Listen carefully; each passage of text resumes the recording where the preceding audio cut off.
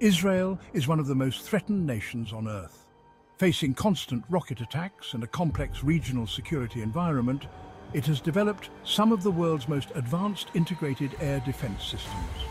In this video, we'll explore Israel's cutting-edge multi-layered defense network designed to protect its skies and its citizens, the Iron Dome, David Sling, the Arrow systems and Barak 8.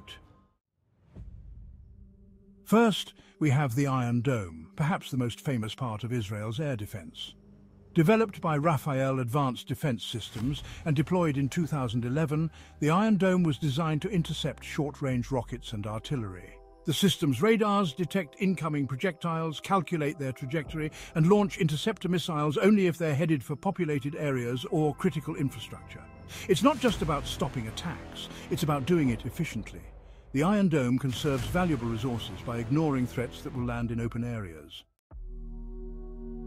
Next in Israel's defense hierarchy is David's Sling. Developed by Rafael and Raytheon, David's Sling handles medium to long-range threats, including large rockets, tactical ballistic missiles and cruise missiles. Deployed in 2017, David's Sling fills the gap between the Iron Dome and Israel's high-altitude interceptors. Its advanced radar systems detect and intercept threats from greater distances, making it essential for defending against more complex missile attacks. When it comes to higher and faster threats, Israel relies on the Arrow missile defense system.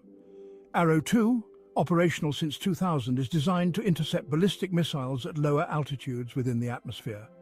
But as missile technology advanced, so did Israel's need for a more capable interceptor. That's where Arrow 3 comes in. Representing the highest tier of Israel's missile defense, Arrow 3 is capable of exo-atmospheric interceptions or destroying ballistic missiles outside of the Earth's atmosphere in space.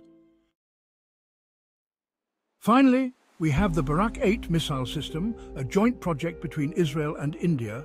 Barak 8 is a multi-purpose air defense system designed to intercept airborne threats like aircraft, helicopters, drones and even missiles. What makes Barak 8 unique is its versatility. It's used both on land and at sea, protecting Israeli territory as well as its naval vessels from enemy air threats.